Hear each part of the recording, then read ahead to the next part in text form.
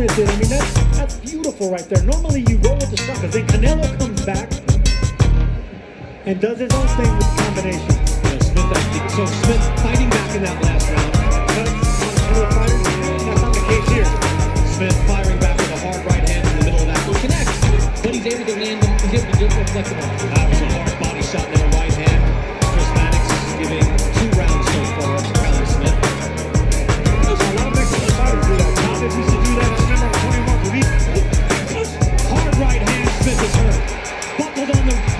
The ropes kept him up.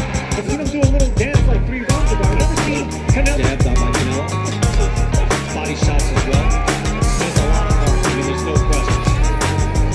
Championship that he has gained through his career and his outstanding professional career. But Canelo offers a hard hook. He is at the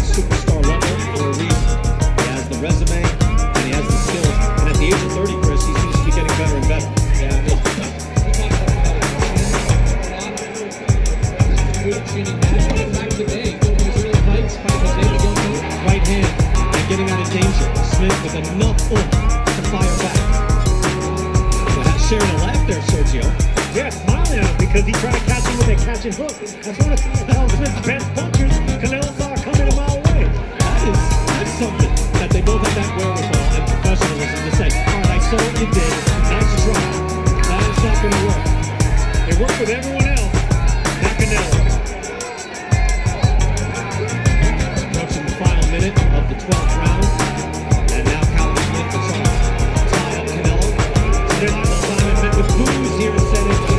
Because Smith is looking up at the clock. He wants to end already, and that's why the fans are looking at that. You can't blame him. Hard footing right hand again.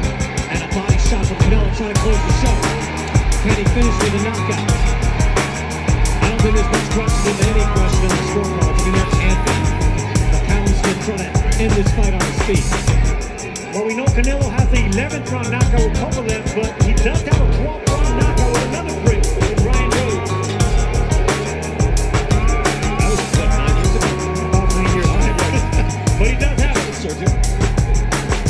seconds. Callum Smith in his final half minute of being a world champion for now. Did everything he could in this fight. Bad style matchup and the matchup itself against a superstar world champion who seems to be getting better and better with age. Even off the pandemic and the shutdown, he has stayed sharp.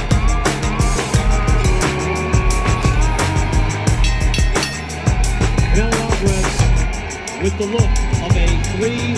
Challenge Smith the entire the entire fight, not letting him think, not letting him get those hands go.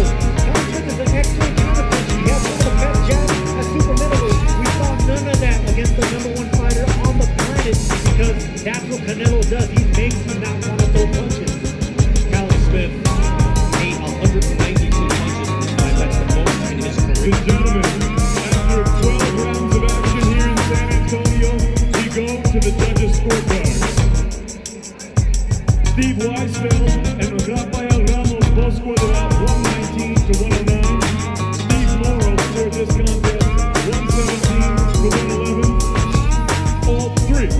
winner by unanimous decision.